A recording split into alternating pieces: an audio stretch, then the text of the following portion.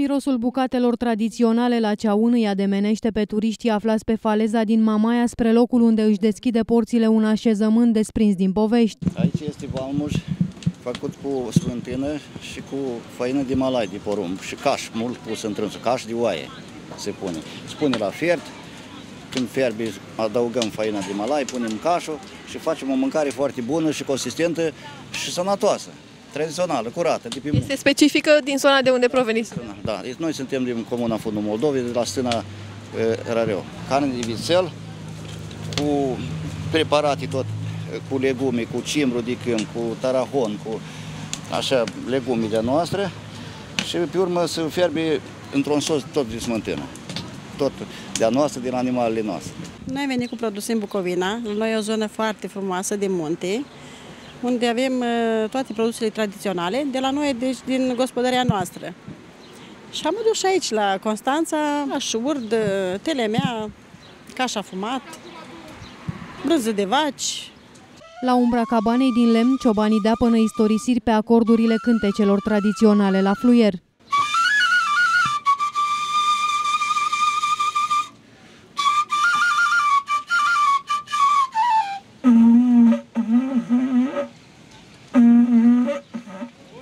La sunetul ăsta, toamna vin cerbi.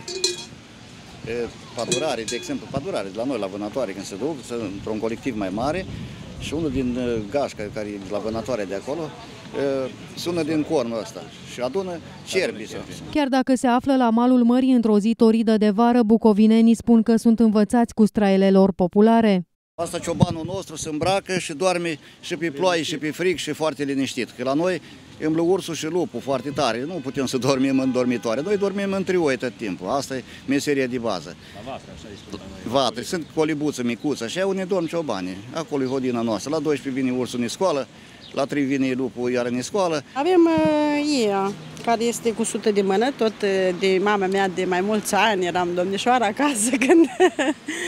Acum s-au mai decolorat puțin, catrință, tot foarte veche. Ăsta bărnețul, cum se spune la noi, tot vechi. Costumul tradițional e format din cămașă, ițari, curea, caciule, bondița. Loret, bondița, bondița cu dihuri, care e specifică noi, noi, la noi în zona Bucovinei.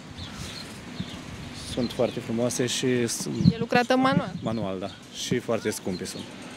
Cam cât ajunge o astfel de? Cam în jur de 1200 de euro, acum la ora actuală. Au străbătut cale lungă pentru a ajunge la Constanța, unde sunt veniți pentru a invita pe turiști pe plaiurile de munte. E foarte frumos la mare. E frumos. Fiecare cos de țară are partea frumoasă. La noi sunt munți, aici e mare. Ei se, ei se mândresc cu locurile dumnealor, noi ne mândrim cu locurile noastre și avem o țară foarte frumoasă. Timp de două zile, toți cei care sunt atrași de noile destinații de vacanță sunt așteptați să treacă pragul cabanei de munte și să facă o incursiune în tradițiile și obiceiurile bucovinene demne de cunoscut în toată lumea.